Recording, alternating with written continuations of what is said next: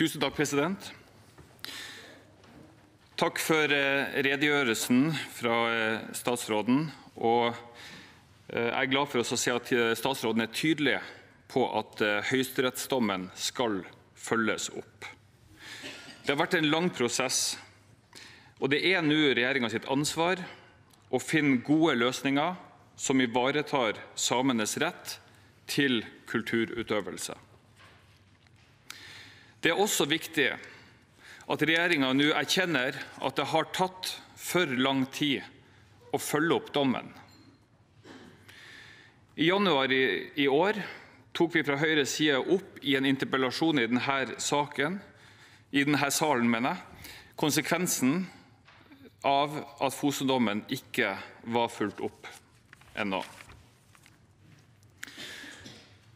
Hvordan denne løsningen blir, vil ha stor betydning for den videre dialogen med reindrifta og for fremtidige kraft- og nettutbygginger i nord.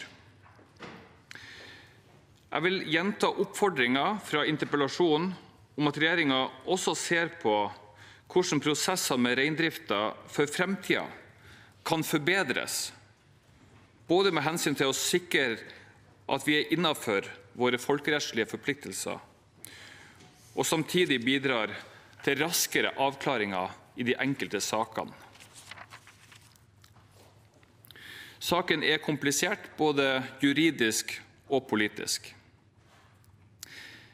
Derfor er det viktig at vi får en løsning som står seg for ettertiden, både for samisk kulturutøvelse på den ene siden og videre utvikling i nord knytta til naturressurser, næringsutvikling og bosetting.